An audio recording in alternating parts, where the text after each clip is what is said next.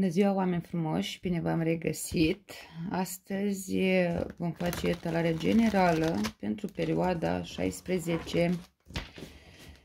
septembrie 2022. Etalare pentru zodia săgetător, ascendent lună în zodia săgetător. După cum știți, dacă vă doriți o etalare personalizată, puteți lăsa un mesaj pe WhatsApp la numărul 0726981520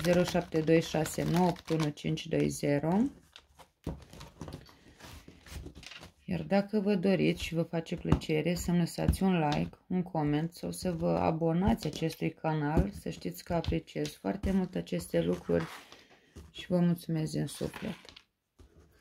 Și haideți să vedem care sunt mesajele pentru voi?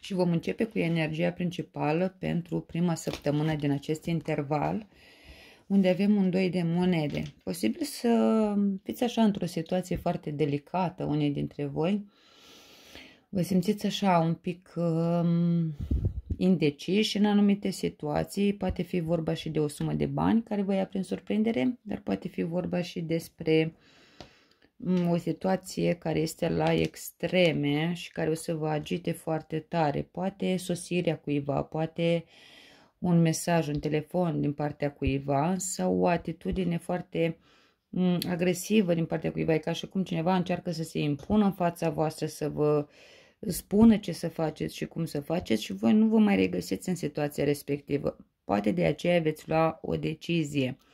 Iar pe de altă parte, încercați cu orice preț să atingeți un cel, să vă îndepliniți un vis, o dorință, dar vreți să se întâmple totul pe repede înainte. Și aici va trebui să aveți un pic uh, răbdare pentru că aveți tendința de a vă duce la extreme, adică ori să iasă situația, ori să se termine brusc și nu este bine să vedem o realizare și pe locul de muncă sau ce ține de o afacere. Aici dacă vreți să aduceți ceva nou, ă, trebuie să luați, dar, trebuie să luați totul, dar cu răbdare, deci să nu grăbiți absolut nimic pentru că nu vă avantajează.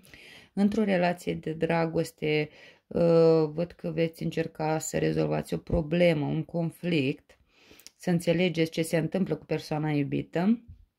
Iar în același timp poate fi vorba și de un proces care vă va agita foarte tare și pe care vreți să-l finalizați. În a doua săptămână din acest interval avem un 5 de cupe care aduce foarte multă melancolie, tristețe, un regret din trecut și cavalerul de bâte. Toată energia aceasta se va schimba în urma unui telefon, în urma unui drum, Uh, este o anumită persoană care vă va scoate din această energie. Uh, se vede o comunicare foarte bună sau situații care apar într-o problemă prin care treceți voi. Poate fi vorba și de instabilitate emoțională, nu vă simțiți înțeleși, poate nu vă simțiți apreciați de persoana iubită, sunt mai multe probleme din trecut care trebuie rezolvate, nu reușiți să treceți cu vedere peste o situație care s-a întâmplat doar că apar niște situații imprevizibile în această săptămână care vă vor surprinde chiar și pe voi. E o situație din destin care o să vă ajute să clarificați, să clarificați sau să luați o decizie într-o situație. Mergem mai departe să vedem în dragoste. Și aici avem un patru de bâte care aduce o celebrare, o veste foarte bună, Um, și parcă va trebui să luați o decizie. Aici apare o rană sufletească, o trădare sau multe compromisuri pe care le faceți pentru ca o anumită poveste de dragoste să evolueze, să înainteze. Nu prea mai sunteți dispuși să faceți sacrificii sentimentale. Adică odată ce ați fost răniți, nu prea ați mai vrea să treceți cu vederea. E posibil să vă caute o persoană care v-a rănit foarte tare și care va încerca să îndrepte lucrurile față de voi. Mai pot fi discuții un pic încordate în casa voastră, da, un conflict care va lua o pauză. Nu se va finaliza pentru că văd că aveți de face cu un caracter destul de puternic și niciunul nu vrea să cedeze, nici voi, nici cealaltă persoană.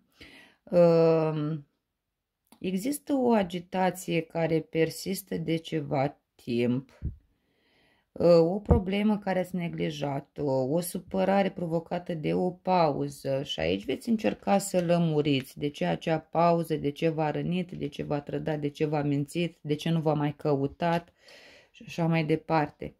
Veți încerca să rezolvați acea problemă în dragoste. Pe planul profesional avem un doi de spade, poate va trebui să vă decideți în legătură cu un loc de muncă.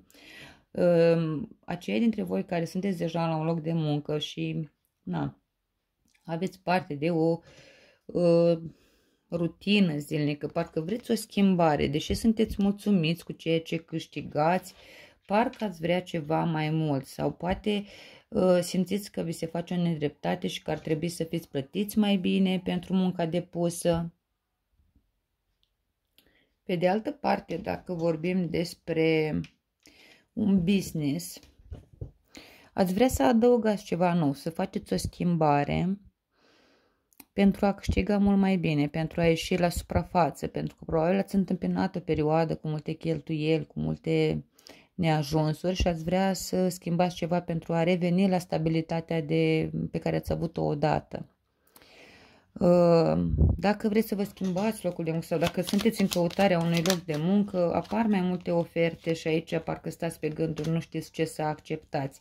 Dar să știți că va urma o perioadă destul de importantă și benefică pentru voi din punct de vedere profesional, pentru că apare o perioadă în care veți fi căutați, în care primiți fel și fel de informații, telefoane, și aceia dintre voi v-am zis care vreți să vă căutați un loc de muncă, veți găsi un loc care să vă aducă niște beneficii. Din punct de vedere financiar avem un 3 de cupe. Vă bucurați, poate cheltuiți niște bani pentru o petrecere, poate faceți un cadou cuiva sau primiți niște bani cadou, dar aici sunt foarte multe tentații. Vedeți că sunteți tentați să faceți uh, cheltuieli inutile, să uh, Uh, vă distrați mai mult decât este cazul sau uh, uh, din euforia, că na, vă simțiți foarte bine într-un anumit loc, să cheltuiți fără măsură și pe aia o să apară un regret că rămâneți fără beneficii, rămâneți fără bani o perioadă de timp. Atenție la excese de orice fel pentru că vă aduc daună financiară. Uh, cheltuieli din dragoste văd din nou că faceți, vă dați un pic peste cap pentru a mulțumi persoana iubită. Dacă sunteți chipzuiți, să știți că nu veți întâmpina probleme financiare, dar este o perioadă, într-adevăr, în care aveți tendința de a face anumite excese pe cheltuieli. Pe sănătate avem un 3 de bâte, vă veți simți din ce în ce mai bine dacă ați întâmpinat niște probleme de sănătate, vă veți vindeca, indiferent de situație. Bine, aici nu vorbim de problemele grave care nu au leac. Nu, vorbim de problemele care v-au speriat, dar care au și o rezolvare. Văd că ați fost sau veți merge poate la niște analize sau apare o altă cale de a vă vindeca un nou tratament. Poate auziți de cineva care are nevoie de îngrijire medicală și vă interesați pentru acea persoană dar apare vindecarea, să știți. Da, e vorba și de o persoană de la un drum. Iar surpriza și sfatul vin cu regele de spade. Aici vorbim de foarte multă ordine în viața voastră.